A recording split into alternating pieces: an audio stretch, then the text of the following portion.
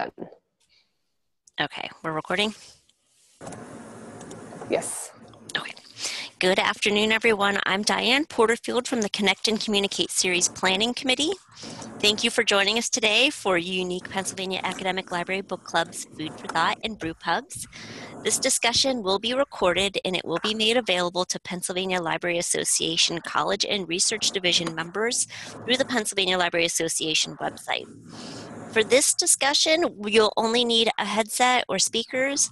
We encourage you to ask questions through the chat box at the bottom right throughout the discussion.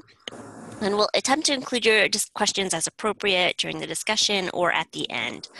Um, if you do have a microphone active, we do ask that you mute yourself so that we don't get too much background noise going on. Um, We'll also do our best to help people with technical issues. If you have any issues, please put those in the in the chat box as well, and we'll monitor it. Um, this session is being brought to you by the Pennsylvania Library Association College and Research Division's Connect and Communicate series. I'd like to thank the CRD board for su supporting the Connect and Communicate initiative and the other Connect and Communicate planning committee members. Sarah Pike, Sarah Pike is here helping out with uh, captioning. Um, Jill Hallam Miller, Aaron Burns, Amy Snyder, Amanda Avery, Ryan Sittler, and Ronali Sioko. I'd also like to acknowledge the Pennsylvania Library Association for allowing us to bring this discussion to you through, our, through Zoom. So we will be keeping track of attendance today, so please type in the number of attendees at your location if there are more than one of you watching. And finally, I'd like to introduce our panelists for today. We have from Susquehanna University, Catherine Furlong and Ryan. Aki, I'm probably saying your name wrong, Ryan. I'm sorry. It's okay. Um, it's Ake. Ake. Too yeah. obvious. and from Harrisburg Area Community College, we have Kathleen Heidecker and Wendy Brubaker. And so we will get started if um, we are going to hear from Susquehanna University first. If you guys want to go ahead, you can. All right, over. Ryan is taking over. Good afternoon. My name is Catherine Furlong. I will be talking about how our book club at the Brew Pub got started, why we wanted something that included, included our community members, and some of the challenges we've dealt with and are still dealing with, and some new plans and possible changes as we move forward. So I've been director here at the Blough-Weis Library for four years now. Hey, When I first, my audio is really weird, isn't it? Yeah, is your speaker on? It ought not to be, but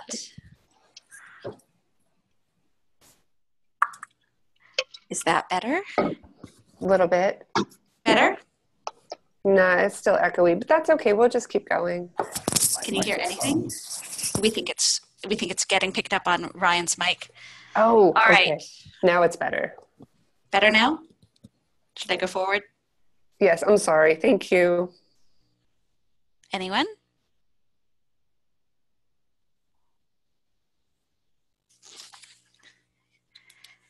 Is it that I can't hear you because I muted you? Catherine, can you hear me now? I can hear you now. Okay. Yes, the echo is done now. Thank you. All right. Um, sorry about that. I've been director at the Blough-Weis Library for four years now, and when I first arrived, I batted around ideas for book clubs. We started some that were around the university theme on our common reading program. We tried to hold them in our beautiful traditional rare book room, and absolutely nothing took off. So I took a step back and still was talking, to, still talked to members of the community about the possibilities and my interest. But the only successful book club that was on campus that I could find was run by our president for his senior staff members. And I was not invited to that. I know it was successful. I know people read the books because it was the president's book club. But for students, nothing was sticking with our audience, and probably because I was trying top down book club models and it didn't fit with our student population. What happened in 2016 was that a student named Jess, who is a member of our Student Library Advisory Committee, which is a student group that's recognized by our student government, came to me and she said she wanted to start having regular book club meetings with other students, but also to have something that could be attended by community members. When she brought me this idea, I was absolutely thrilled. And I said, Ah, oh, the library, our rare book room, it's going to be the perfect place. And she just looked at me and said, um, No, she really was stressing the importance of having something that was a town gown collaboration, something that would be in downtown or what passes for a downtown in Selinsgrove.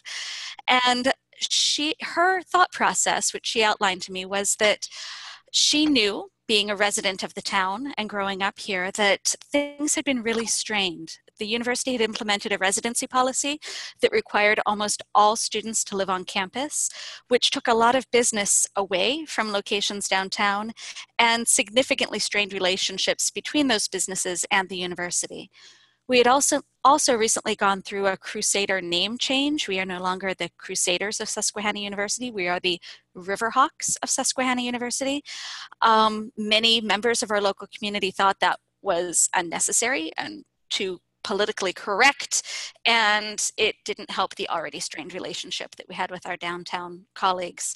So Jess wanted to have these meetings downtown and highlight businesses for our students. And we know from other things that we do that an active downtown supported by the university benefits the university and the downtown merchants. So that's how we got started thinking about doing something, but doing it off campus.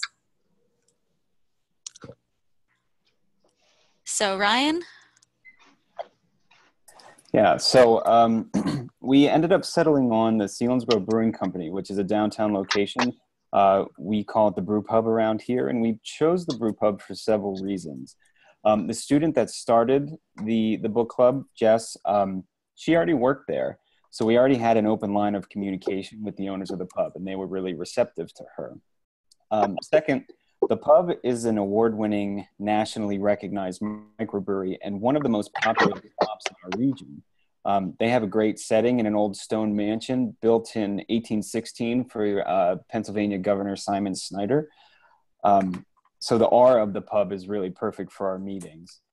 And um, the setting was very appealing to students because they have good, really good food and beer and um, that makes everything better right? So we decided to go there um, because of that. And finally i could rhyme brew pub with the book club um, so it made naming this event really really simple for me.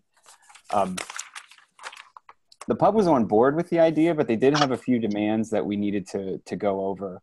Um, we needed to meet at night after the dinner rush and we ended up settling on nine o'clock. That worked best for the pub and it also worked best um, for our students and their and their um, academic schedules. Um, everybody was called. All folks under 21 needed to wear wristbands and sit at their own table. They needed to sit at a separate table from the over 21 crowd. Um, the other thing was uh, we needed to guarantee a minimum amount of purchases so we weren't taking seats away from paying customers. Um, but once we got those details in order, uh, we went ahead with planning our readings. So we got approval from the pub. I also needed to get approval from the provost and risk management here at the university because we were talking about undergraduate students in a setting with alcohol. Uh, it was a process, but it wasn't onerous, and I got permission with the caveat that at absolutely no point would Susquehanna University money pay for alcohol. So we moved forward with planning our first event. Uh, Jess and I talked about the fact that we really believe that all reading selections should be made by the students and all discussion questions should be led by students as well.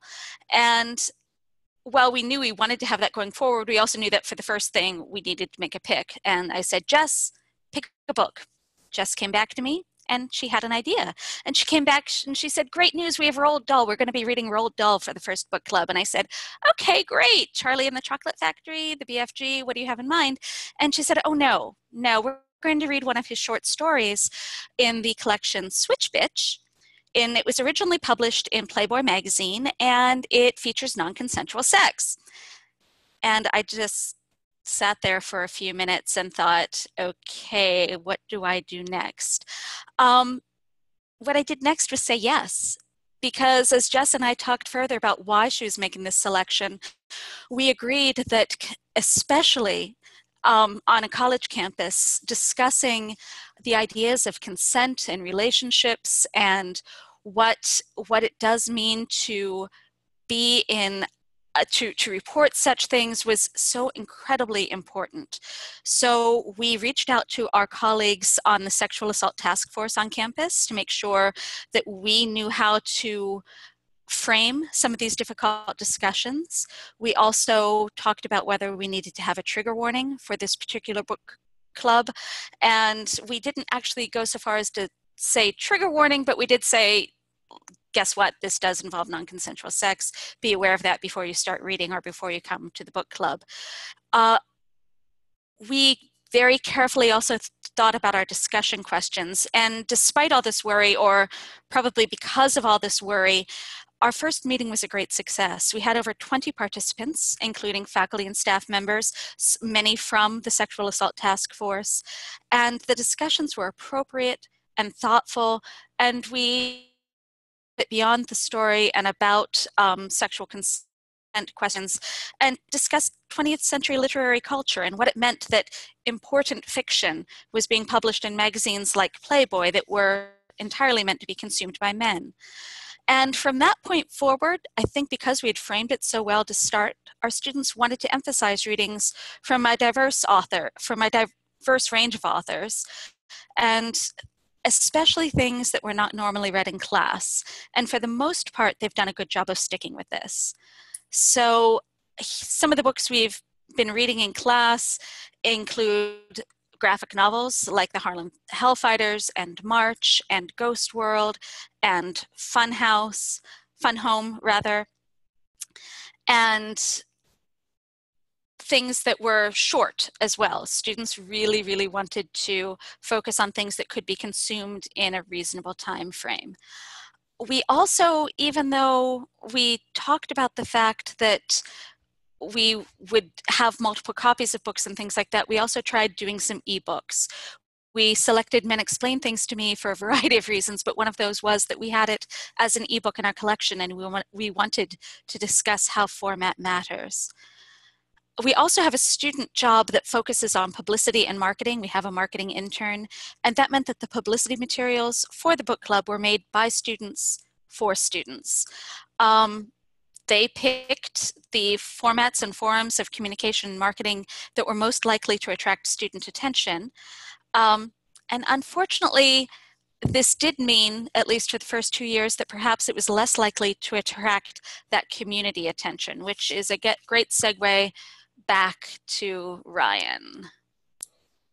Yes. So, um, as Catherine mentioned, our student marketing assistant focused primarily on advertising to students. Um, we did this through a few different ways that proved to be relatively successful. Um, first thing, we put posters around campus and signage throughout the library, as you can see here.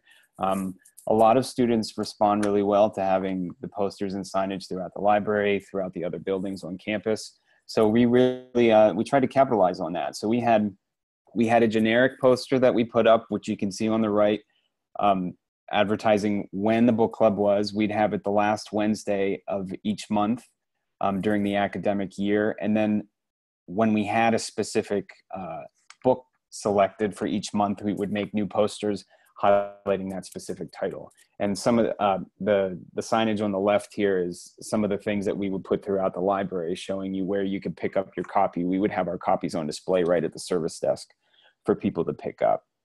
Um, we did social media reminders on Instagram and Twitter. Um, we really don't have students that use Facebook, so we didn't really focus too much on that. But um, a lot of our students are receptive to our Instagram posts, so we made sure we highlighted everything that we were doing on there as well. And um, lastly, we spent a lot of time sending out MailChimp emails to our sign up list. Um, our list ended up being roughly 50 people. Um, so as soon as we had a selection made, this is a screenshot of one of our MailChimp emails. Um, as soon as we had a selection made, we would send out a notification to everyone. Um, and then as we got closer to um, the actual event, we would send out reminder emails as well. And it was a great resource to use because we could track who was opening emails, we could see who was getting them, who wasn't getting them, who might not be as interested in participating anymore, um, those kind of things. So it's a really great tool to use. If you don't use it, um, I would highly recommend using it. Um, but as Catherine, these methods were found to be the most appropriate for attracting student interest. Uh, in the fall, I do plan on spending a little bit more time promoting the club to the community um, because that's one of the biggest challenges we've dealt with so far. Um, let me get to the next page here. Um, we haven't quite had the community response we were hoping to get. Most of our attendees do have ties to the university, students, faculty, staff, and we did have the university president show up to one of our meetings, which was really exciting. Um, we have had some support from community members, like the Selinsgrove mayor came to uh, one of our meetings, uh, and some others who have attended and contributed to the discussions, but we would like to have more. Um, we are hoping to fix this as we move forward with a digital book club idea, and I'll discuss that in a minute. Um, another thing that we've been dealing with is um, working around students' schedules. Students are busy, and it is a lot to ask them to read something that's not required for coursework. Um, depending on the time of the semester, we're battling night classes or final exam prep and other activities happening around campus. So this is something that we've had to, we've struggled with a little bit. Um, they have expressed the importance of selecting short consumable readings so there's not as much prep time for the monthly meetings and that'll be a main priority as we move forward. And one of the last things um, are some location concerns that we have. Um, the pub has been an excellent partner over the last two years. They really have been great and receptive and welcoming. Um, but their dining room is small. Um, like I said before, it's housed in a in a former home and it's only on one floor. Um, so depending on the size of our group, we could take up half of their dining space with our book club meeting. Um, and they don't take table reservations, so it's difficult to guarantee space that we would normally need, um, depending on how big the group is. Um, this hasn't been a major issue yet, but it's something that we're constantly worried about. So these are a few things that we need to think about as we move forward. Um, since the advisory committee has made it clear they want to keep the book club alive. Um, so we'll work on fixing those challenges and exploring new ways to engage a wider audience. And we're going we have a few ideas um, to help remedy that. Um, we began discussions of an online book club for our Friends of the Library group um, so they can participate in the readings and contribute to discussion topics. We had a library intern work start this work, but we're still actively looking for the appropriate plat platform to make this happen. Um, we started with a program that we had available through the university, but it didn't work out. We had some issues letting folks outside of the university attend any sort of um, digital discussion boards we made. So um, we're actively looking at Goodreads right now, but if anybody has any experience, anybody here at this webinar today has any experience um, using digital book clubs or anything like that, um, we're happy to, to take recommendations and ideas that others might have. Another thing that we looked at was um, alternative formats. This last spring semester, we toured around with listening to a podcast instead of doing a reading to see if, it, if we could engage more students. Um, we had them listen to S-Town, which was a really great podcast. It's a non-fictional podcast about a murder in a small Alabama town. And it ended up being a bit too long for a lot of people, and our attendance was relatively low for that meeting. But the idea of branching out and trying a different format was well received by most of the students. Um, if we could find a podcast that was a bit more consumable, but just as engaging, we will try and explore this idea further in the next year. And lastly, another thing that we've looked at was um, a happy hour book club with the faculty. Um, we've discussed having this book club during the summer months to engage faculty and staff that are still on campus. Uh, we have received some initial interest from local faculty and staff members, but we're still negotiating with the pub to determine the appropriate day and time that would, that would not interfere with their dinner rush. Um, they weren't as receptive to this idea because we were shooting for the 4.30, 5 o'clock time period where we could get faculty and staff just leaving work to stop over. Um, they weren't as receptive because they were thinking that we would take a lot of tables and businesses away. I tried to um, let them know that faculty and staff here after a, a long difficult day are going to want to spend as much money on beer and, and food as anybody else would um, but they they weren't buying it um, but i'm still trying to figure out what to do um, probably i'm hoping to probably have something in line for maybe july or august but definitely not june that's a little bit too too quick of a time frame for us um, but those are some new ideas that we're we're looking at as we move forward and and work to engage more community members and new students and um, try to perfect what we're doing here. So um, that's what we had planned for today. Um, we're happy to take any suggestions on anything, any comments or questions. I believe we'll be doing that at the end. So I will move it on to our colleagues.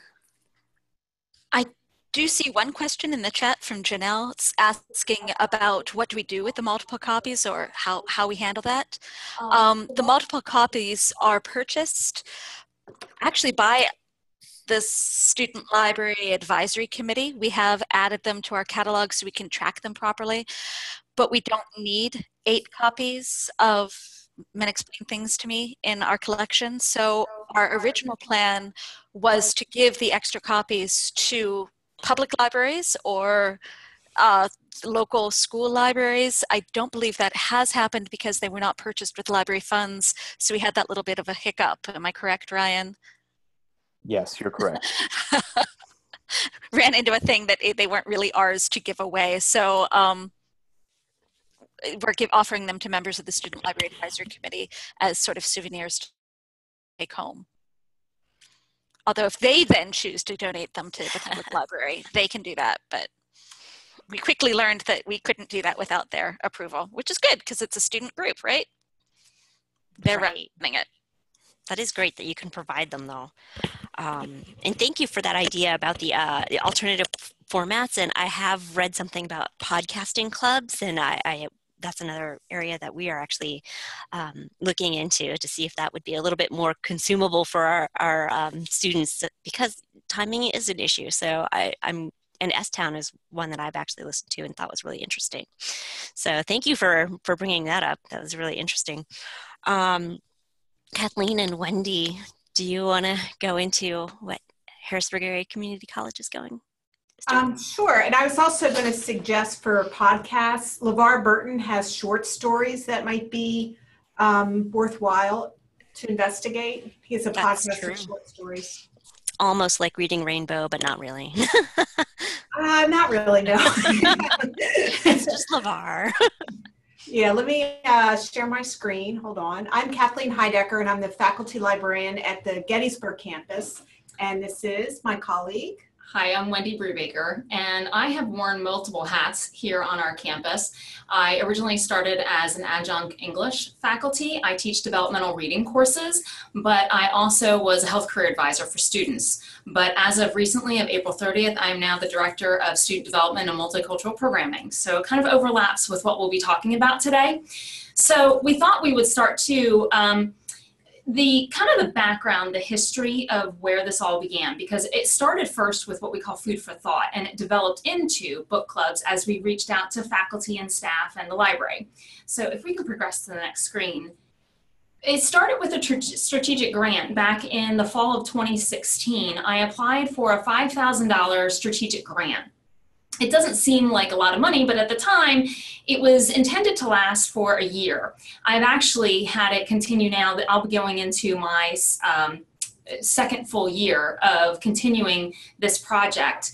Um, it basically was started because we have a high food insecurity rate. About 46% of our population is food insecure on a fairly regular basis. So there are some incentives on our campus and different initiatives that have derived from that statistic. Uh, we also went, wanted to improve the co-curricular activities, but at the same time, I saw in my classroom the students were in developmental reading classes because they were not reading on a daily basis. This was not part of their normal routine, and then their academic skills were suffering. So we knew though that we had to tie in a book club to something that would entice them. And we started finding books and literature that you could tie into a movie. And you can progress to the next slide. Um, our funding on this one for these activities that we would have, um, we would invite faculty and staff to have different types of events. It could be students preparing for the TEAS for the uh, nursing program. There would be an information session on that. We could have um, essay writing, scholarship essay writing sessions. We could have um, career based ones about resume. So, any one of these would all fall under that food for thought category. So, when I started speaking with Kathleen and realizing there was kind of a need missing here with having some type of book club to entice students, we started kind of thinking outside the box and how do we make this work? And the Food for Thought uses a app a TextNow app where the students will RSVP to us using TextNow. It's free. You can buy a paid version, but it is free. Um, and the students, it gives us ahead of time a tally so that we're aware of how much food to purchase. If we have low numbers for any number of events, we might have snacks available, and we try to vary our snacks but also have them on the healthier side. Um, but we also, if we have a certain number of students, depending on the event, we will provide meals. It could be um, Panera, it could be Subway, it could be pizza, it could be a variety of things depending on what time of day it is. It could be breakfast items. It just depends on what's being offered. So then I spoke to Kathleen and it morphed into having a book club once a month as well. And I'll let her speak on that on our next slide. So I've been um, co-teaching in Wendy's classes for a number of years and, and I can emphasize the students almost don't um, have the luxury to read because they're very busy. They're working, they have families, and reading has never been something that they love. Um, I, a lot of times I'll tell the people I work with, just remember many of our students have not had a positive library experience. You know, they've had fines, they've been yelled at, they had a goofy middle school librarian and so forth. So we wanted to find books that would be interesting, accessible, and that we also had movies to choose from. We subscribed to uh, Swank, which is a movie database. So we wanted to kind of pair up books to movies that we had in Swank so we could show them after we would read or discuss the book. So the first one we have, and I don't have a copy of it because we, we, we give our copies away because uh, Wendy's grant covers the purchase of the books so we're able just to give them to the students. So we want the students helpful. to build their Very own helpful. personal library and to share it with their friends and their family to help that population. So that has worked out well. Um, the first one we read was also a Sherman Alexie, but we did the short stories Lone Ranger and Tonto Fistfight in Heaven.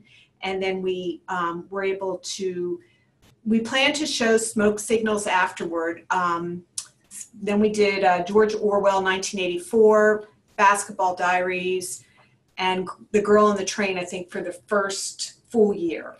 We had access to all of those movies, but what we found was very interesting is the students would stay for the book discussion, but they never had time to stay for the movie. So um, we were able to email them the link to the movie, and I need to follow up to see how our statistics for those movies ended up being. Um, I think what else? Um, we, we've had about five to 10 at each one. We did include faculty but and staff, but they only came to, I think, really the first one. After that, it was really just students. Um, we're really lucky. Our students are a variety of ages, so we would have 16 year olds and then, you know, 65 year olds discussing these different books. So my role was really just to kind of come up with some very generic questions, but I felt really strongly this was not, you know, to be, you know, make sure everybody's getting the same theme or idea, kind of undo whatever they had thought before about assigned reading. So it was pretty, I think some of them were very freewheeling. Um, I always, uh, one like the basketball diaries, uh, it's kind of interesting. There was not a iota of sympathy for the narrator. they were kind of like he made his own mistakes he screwed up he's an addict and, and it was kind of interesting to me because i had not seen it that I was not that uh, critical, I guess, of the narrator. And we tied that in also to a heroin um, documentary. Yes. And um, there, unfortunately, in our region, we do have opioid and heroin addiction, and that is something that we always try to select the books that will relate in some way to our students. Um, it, it could be a popular movie like The Girl on the Train, which we picked, or The Basketball Diaries, because we have students talking about they're raising their you know niece or nephew because their sister or brother are incarcerated because of that addiction. So we try to pick books that relate to them, so they have that schema, they have that background knowledge to assist them with understanding the novel, and then being able to have a fruitful discussion on it. Um, for the most recent semester, we kind of moved away from the movies and we picked uh, Hole in My Life by Jack Gantos. And if you've ever been a children's librarian, he is the author of Rotten Ralph, which I love those stories for my kids. But um, his autobiography was very interesting. And then we were really fortunate enough to have a connection to um, the author of None of the Above. Her mother-in-law is a teacher at our local high school so we did um, none of the above which is about an intersex adolescent uh, by I. W. Gregorio. So that was um, really popular. Unfortunately because when we did the book club piece we didn't have a great student turnout but we did have a good faculty turnout.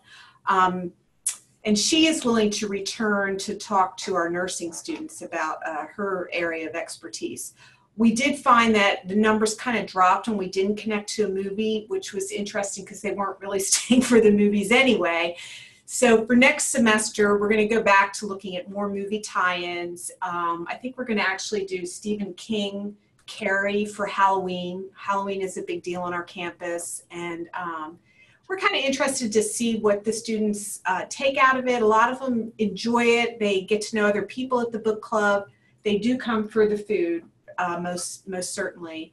Um, Some professors also, depending on what the book is, if it ties into their curriculum, they will offer extra credit or some other incentive through their class in order to go. Because it is, like it was mentioned in the previous book club, it mm-hmm. is a bit time consuming. You know, on top of all of your other classes and work for them, you're reading a novel and you're going to a book club. So while the book is free, the lunch is free, um, the movie access is free, but the time sometimes is invaluable. So we understand that, and that becomes an issue. And we are a smaller cl- a campus that has under 2,000 students. So that, and they're all obviously commuter. They do, they are not residential. So that becomes an issue for us because of the time constraints on these students already.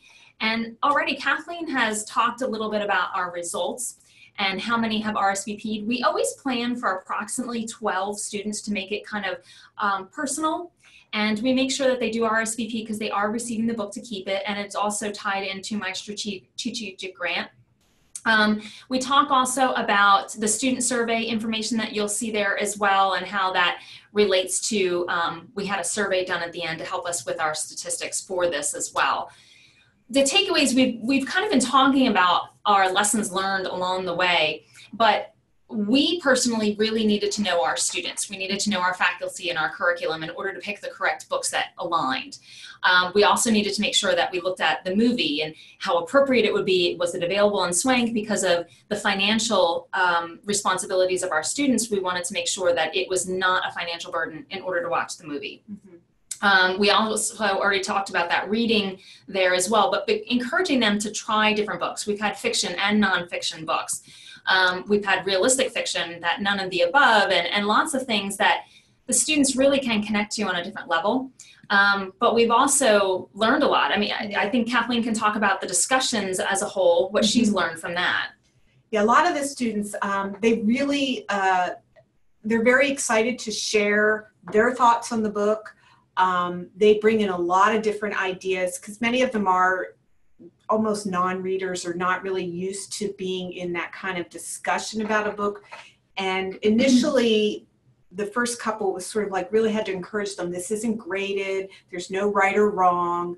And i think um, you know being in the classroom a lot and being able to draw out from them you know what they think what they're trying to what they're trying to express and share is important because they're they um, some are intimidated, but most once they've been coming, they are very, you know, confident in their opinion. They grow more confident.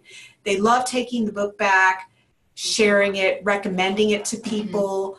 Um, we also emphasized you do not have to finish the book. You know, the please come to book club even if you haven't finished it, even if you hated the book. You know, come and talk about it. So that part was fun, just trying to get them to enjoy reading. And then Wendy took um, this one step further at the end of the semester, and we combined a book collection, uh, some of our reading, and some other things, and had sort of a grab some books before the end of the semester giveaway. So we would display. Um, faculty brought in a lot of paperbacks, and people really look forward to that. I think we've done it two semesters now, where students Right. can come in and just sort of pick up books for fun. We And- have a student success committee on campus, and this idea of food for thought and our book club tied into the need that these students don't have a library at home. While they have the public library, you know, transportation sometimes becomes an issue for them as well. So, in order to encourage them to read over that winter break or the summer break, we had the students, uh, we had a donation station that we had where faculty, staff, students donated books, and we had that station up for about three weeks we collected for the fall semester slightly over 100 bucks. We had a display for that week prior to finals. And it was basically encouraging them you know wonderful job this semester. Why don't you take a book to enjoy over the holiday? Um, to encourage and continue your skills that you've learned this semester. Every single book was taken. And then this semester for the spring we had well over 200 books and i still have a handful of them that we are storing for our next semester, but it has become very successful, and students have grown to know that that's going to come at the end of our semester. And they have come, and sometimes they'll take one, and then I keep putting more books out as we get them, and they'll swap out books. And they're very, you know, they could be Stephen King, Dean Koontz, they could be James Patterson, any popular variety, but there's some things that they weren't familiar with. But you'll see a group of students sitting there and talking, oh, I read that in my class, give that a try, and nice conversation. We always talk about how in, in my class, we talk about how reading, writing, and discussion all work hand in hand. If you're suffering in one area, mm-hmm. is you're probably having issues in, in the others. So lots of times in my developmental reading, they're also taking developmental writing course as well. So this has kind of snowballed and, and grown a lot larger than we expected. But you'll see on this last slide, this is an image of what the poster was looking like for the Food for Thought. So this is April, and this is some of the events that we had on campus. That first one there from Wilson College, our KEYS program. That is the coordinator that works with students who are on uh, TANF for welfare benefits. And it was a single parent program they came in and spoke about. We had the resiliency documentary brought to us by our counseling department. Uh, the criminal justice day was by our admissions. TEAS was our nursing and academic specialists. We had an autism march. It rained that day, so it was more inside, but we had an interactive station. Um, and then you can see we have a variety of other things. We include our veterans in this, but these all of these events are brought to us by faculty and staff on our campus that are aware of what we do and how we make it work. And you'll see in that last column, that's the Text Now app number. And then they text that word to that app. And that's how I can correspond with them. And it comes to an iPad we have on campus that our students run, but I also have it on my phone as well, so I can man it over the weekend if necessary. And it doesn't, it's not time consuming. Uh, this is an example of a book club poster.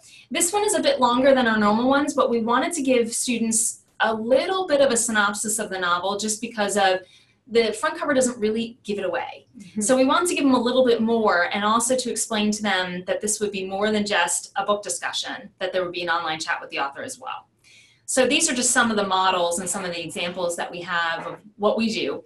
Um, this will be changing a little bit as we move forward into the fall semester just because my role has now changed.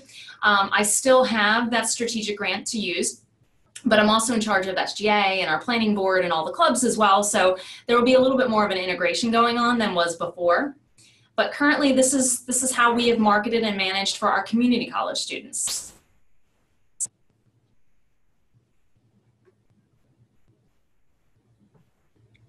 Are there any questions? It sounds wonderful. I like how you brought the whole programs together because they sound sort of disparate, but you know it makes sense to put them all together as under the food for thought umbrella.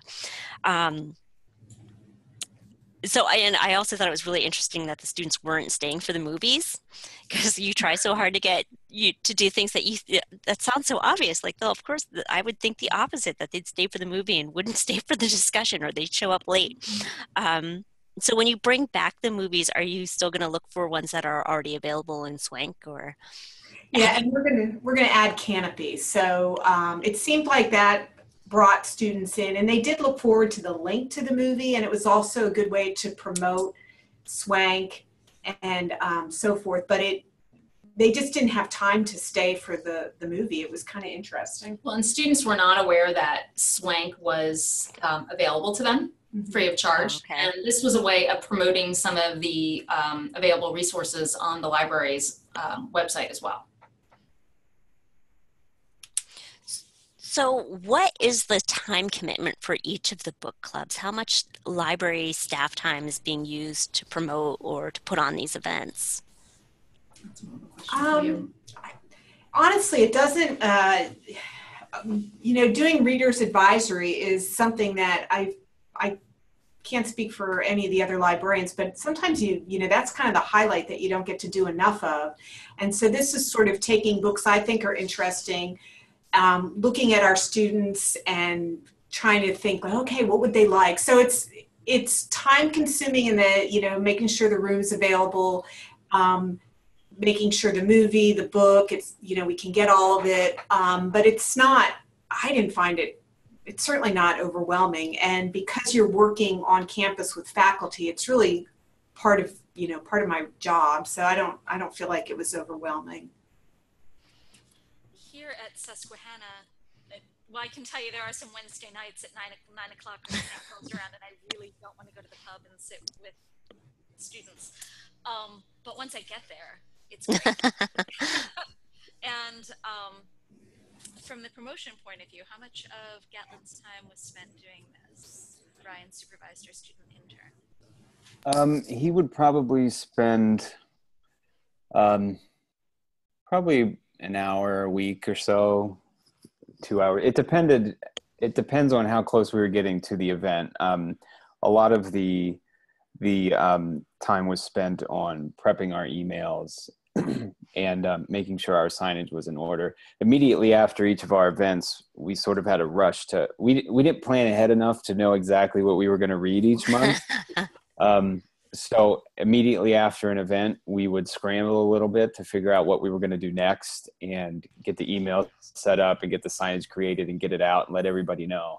Um, but he did a lot of that work, and the student library committee was responsible for coming up with the discussion questions. So um, we sort of skated through pretty easily. we had to do the reading. Yeah.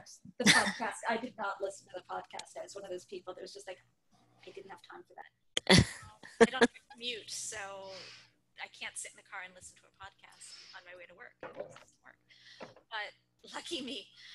Um, the other thing that did take a little bit of time was, as Ryan having the students selecting the readings and actually voting at the end of the book club. Okay, what are we going to read next? That really actually made it more intense than it necessarily needed to be. We're thinking about maybe we can plan maybe two months out. That would be Right. for the 18 year olds in the room, but it can be done. Well, and for our campus, we usually purchase the books ahead of time. I saw. So I've already asked Kathleen to give us our books that we're going to be having for the fall semester so that I need to order them and have them all here for the students. So we always prep ahead of time and we have that all done. So yes, that's time consuming up front, but then once that's you know month comes along, I just pull out what I would need and we go from there. Um, but as far as you know posters and things like that, yes, you know, we have to watch budget with how we're printing things and doing things, but we are a small campus, so we've been able to manage that with my strategic funds and um, just the resourcefulness of the students on campus. We had a, um, I have a student worker that assists with some of our text now apps as they come in, all the responses and keeping our RSVP list. And then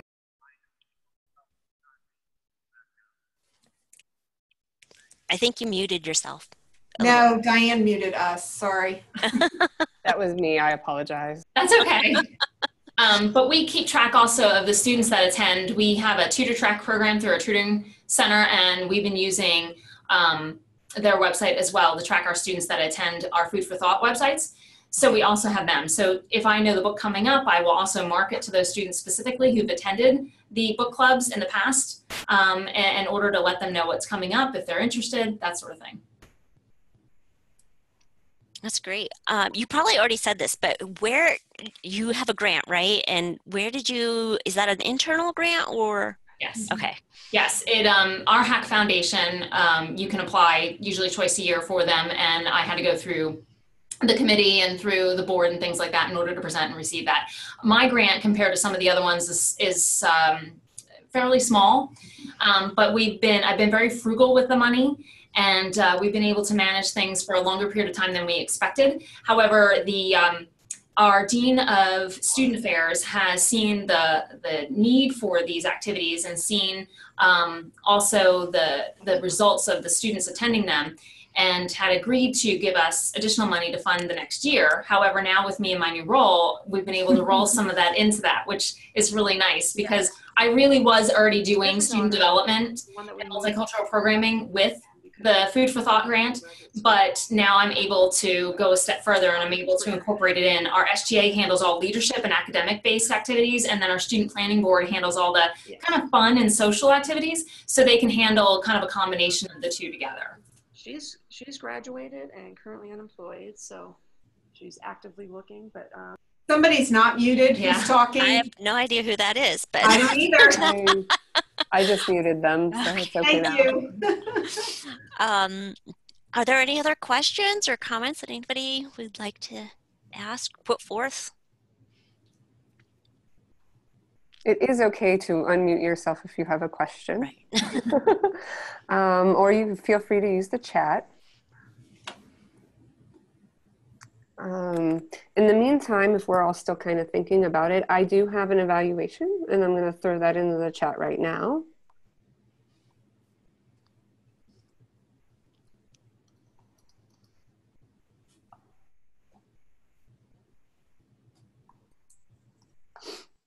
Okay. Well, if there's no other questions or comments, we'll we'll wrap it up. Um, I'd like to thank everybody for joining us today, and thank you, Catherine, Ryan, Kathleen, and Wendy for putting for presenting for us. That was this was very informative and I think really interesting the way two different um, institutions have kind of approached what you think is a standard book club. Book clubs are book clubs, but you can really do a lot of different things with them. Uh, I hope everybody takes a few moments to complete the survey and let us know your thoughts about the presentation today and about our programming in general. The link for the survey is in the is in the chat box. And as a reminder, this presentation will be available to Pennsylvania Library Association members early next week through the website. If you're not a Pennsylvania Library Association member and you are interested in becoming a member, please feel free to email me and we can, I can put my email address in the chat box and I will let the appropriate person know. Um, I also invite you to contact us with suggestions for future discussions and presentations. We would most let, um, yes, contact us if you would like to present. Uh, enjoy the rest of your afternoon and have a nice weekend. Thank you. Thank you. Thank you. Thanks. thanks. Weekend already?